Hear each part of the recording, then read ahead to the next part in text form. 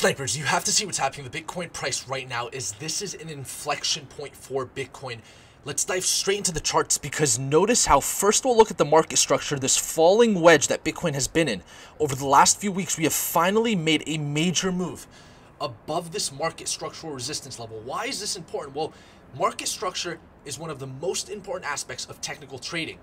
But behind that, we have price action and volume. That's the second most important aspect of technical trading. And guess what? We are actually seeing follow through with this major breakout.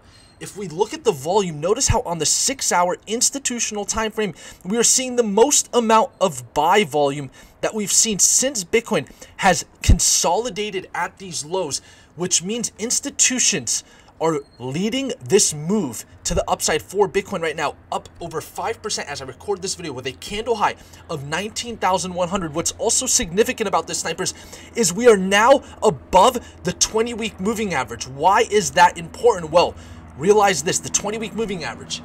It's really easy to say that we're in a bear market when you're below the 20 week moving average, right? The mainstream media, the narratives that are out there. We're in a bear market we're below the 20 week moving average. It's easy to say that, but then you get above the 20 week moving average and the narratives start to shift towards the bulls. And guess what?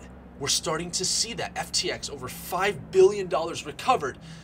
Why are positive headlines starting to come out now that Bitcoin is making a move above the 20 week moving average?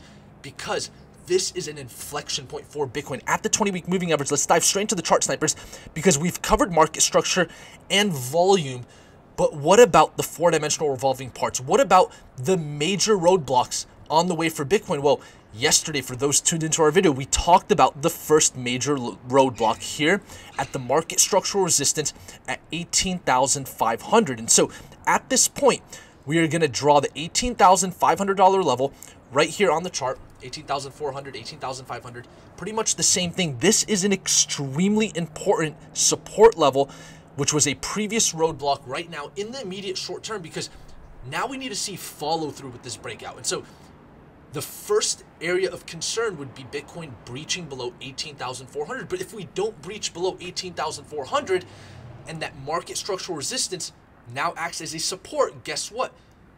We are on the way to roadblock number two. For those that watched our video yesterday, I talked about the first two roadblocks being extremely weak. They were nowhere as significant as the major target that we had at 25,000 US dollars.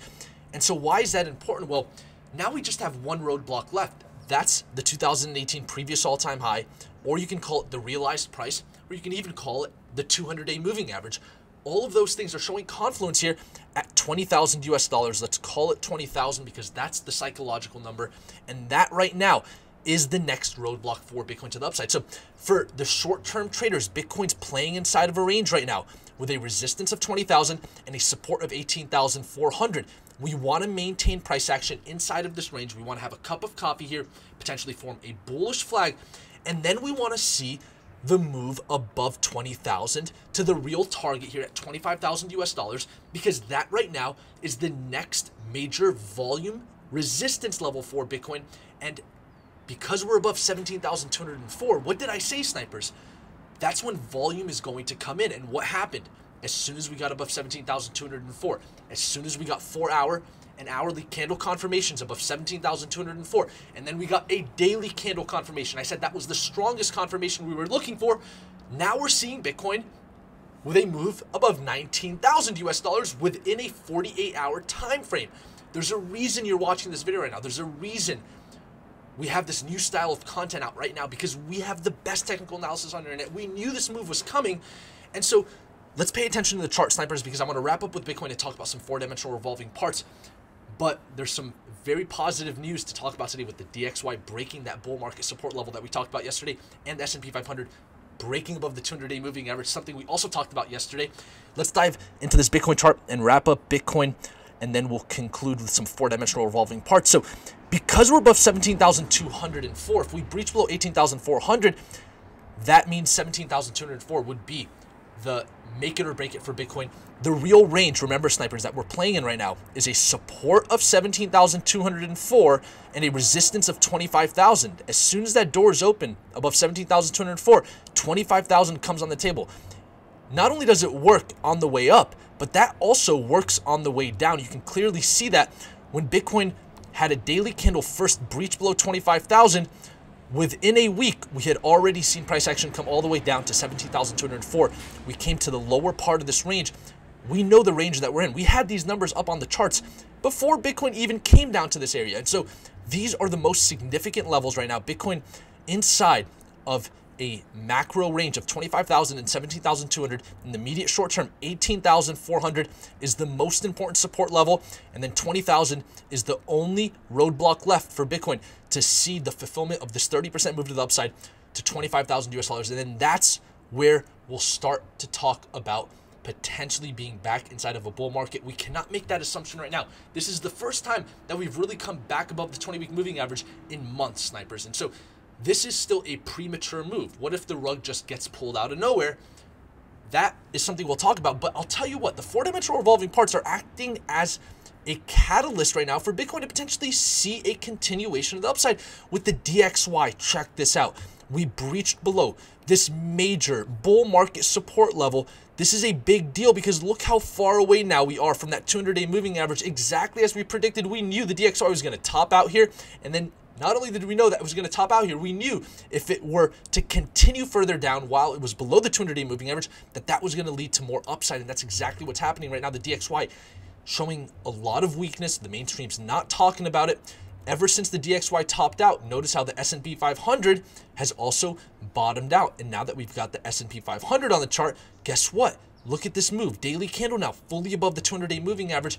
We still have the bear market resistance level of the macro channel to conquer, that's gonna pretty much be the main topic of tomorrow's video. Are we going to see a follow through on Friday or are we going to reject the 200-day moving average, the S&P 500? So at this point, we were monitoring the S&P 500 and that 200-day moving average. We didn't get a rejection. That's a very positive sign.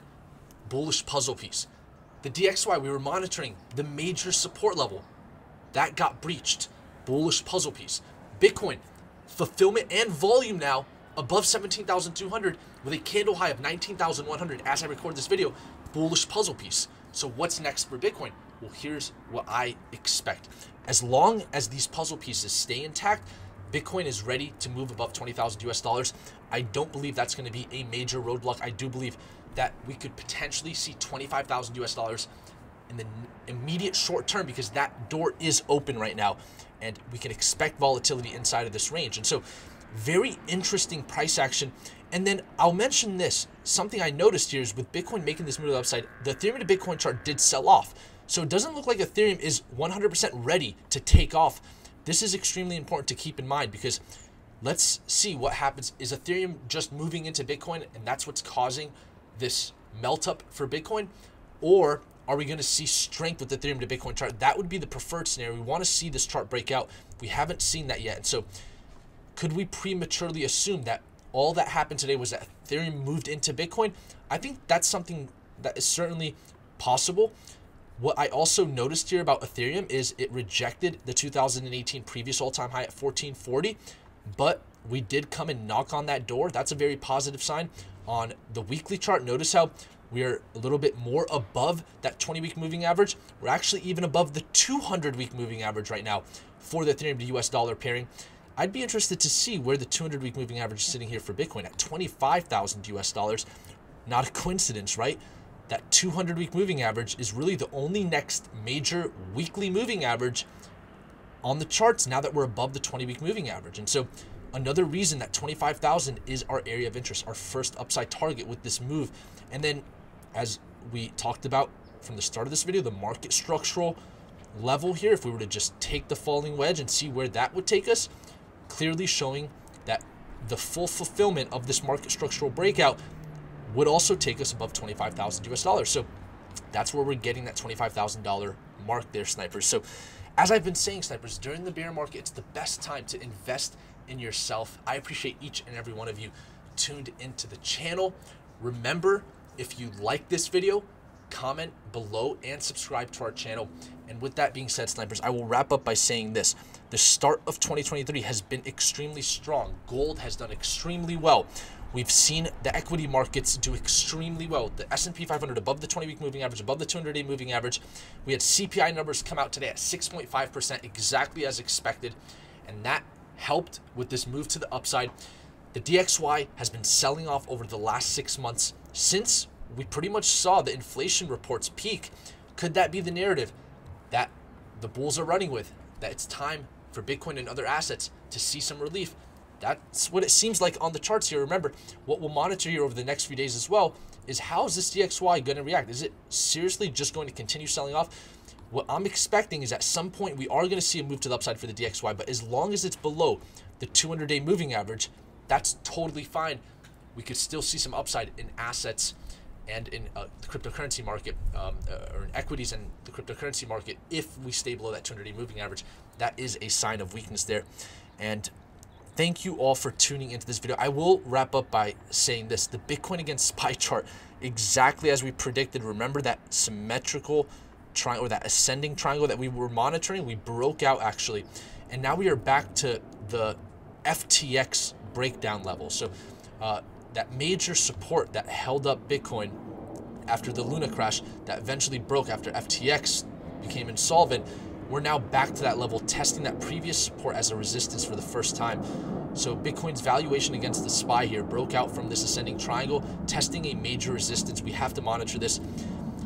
You know, if you're a bear and you want to say that that's it, Bitcoin, it's lost all of its momentum. It can't strengthen further against equity markets because it's just testing a previous breakdown level, then what I would say is over the next 24 to 48 hours, what we need to monitor is whether we're going to reject this major level here for the Bitcoin against SPY pairing, or are we going to see follow through? Because if we see follow through, then be careful for that short squeeze coming. That could lead to more upside in the market. So uh, that's a neutral puzzle piece because we're still facing resistance.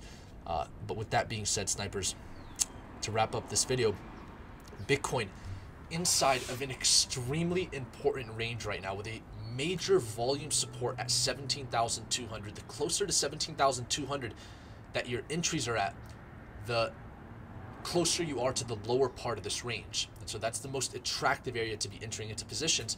And then the first upside target and upside resistance based on the volume profile is 25,000. So that's the range that Bitcoin is currently playing in. 18,400 is the first level of support right now. That was the market structural resistance of the falling wedge. We want to see that hold. And then right above that, we have our last and final roadblock before 25,000, and that's 20,000. Let's see over the next 24 to 48 hours, maybe this weekend, if we can get above that $20,000 level, that's going to be another major inflection point in the market because now we're seeing not just short-term momentum. Now we're seeing a major shift in the direction of where this is going. And with that being said, thank you all, snipers, for tuning into the channel today. I will say this as well. Ethereum 1440 is a major resistance. That's the previous all-time high from 2018. If we can get above 1440, because that Ethereum to Bitcoin chart is still in a symmetrical triangle, regardless that it rejected just for one day, we need to monitor it because if Ethereum breaks 1440, next upside target is 1760, and that could be a more volatile asset. With that, I'm Rambling Snipers. Thank you for tuning in to the Snipers channel today. Hope you enjoyed this update. Let's monitor Bitcoin. Very exciting times here. I think that it's important right now that we broke out of this market structural pattern here, this falling wedge, because market structure is number one, price action is number two. That's volume. We're also seeing that. Uh, and then number three, it's the overall trend, which I would say is still on the bearish end because the macro is still bearish. Uh, but getting above that 20 week moving average, that's one step towards some uh, potentially, uh, you know, uh, different narratives coming into the market where we could see that macro opinion shift to the bullish side. So thank you guys for tuning into the channel this Thursday. It's going to be exciting to see what happens. Until next time, snipers.